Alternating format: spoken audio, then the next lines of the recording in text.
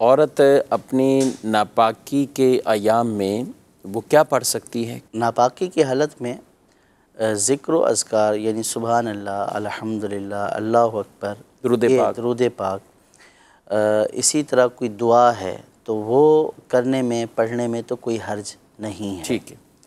और जहाँ तक कुरान पाक के पढ़ने का ताल्लुक़ है तो ना उसको छूना जायज़ है ना देखकर पढ़ना जायज़ है, ना ज़बानी जायज़ है।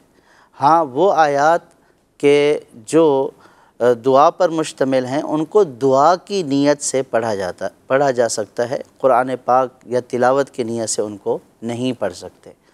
और अगर कोई जो है, इस्लामी बैन हाफिज़ा भी है तो चूँकि शरीयत ने इसमें ज़बान से अदायगी को भी मना किया है तो लिहाजा वो इन आयाम में कुरान पाक की तिलावत ना करे।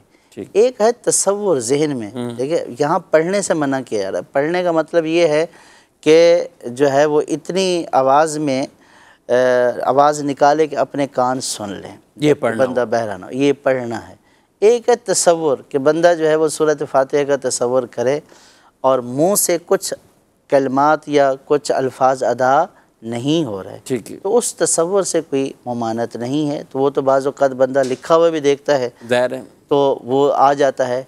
तो एक है देख कर समझना हम्म, और तसव्वुर लाना उसकी तो ममानत नहीं है। ठीक है। एक है पढ़ना तो पढ़ने की ममानत है चाहे वो ज़बानी पढ़ना हो चाहे वो देख कर पढ़ना हो या कुरान पाक उठा कर पढ़ना हो ये सारे पढ़ने इस हालत में ममनू है। जहनी और तस्वुराती दोहराई कर सकते हैं। हाँ जहनी और तस्वुराती में कोई हर्ज नहीं। जैसे कुरान की तिलावत सुनने में भी कोई मसला है इस साल नहीं कुरान पाक सुनने में भी कोई मसला नहीं। अगर इसी कैफियत में कुरान पाक का वो पारा यानी जिन्होंने ये याद करने और इस तरह सूरतें लगाया अपना कुरान सुनते रहे और खामोशी के साथ उसको सुनते रहे यूँ इसमें एक एहतियात की ज़रूरत है आप भी माशाल्लाह हाफिज़ साहब हैं कि जब कुरान पाक की तिलावत यानी यूँ कैसेट पे या कोई भी पढ़ रहा होता फिर है पढ़ना शुरू होता है। बाज़ात बेख्तियारी की वजह से हम गैर हाफिज़ जो है वो पढ़ना शुरू हो जाते हैं।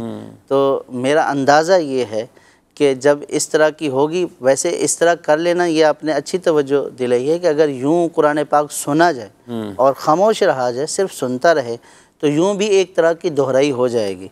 लेकिन कहीं पे अगर अटकन हुई या कहीं पे कोई भूला तो बे अख्तियार अल्फाज निकलेंगे निकलेंगे। तो इसलिए यानी कि पढ़ने के अतबार से कुफल मदीना लगाना चाहिए पक्का।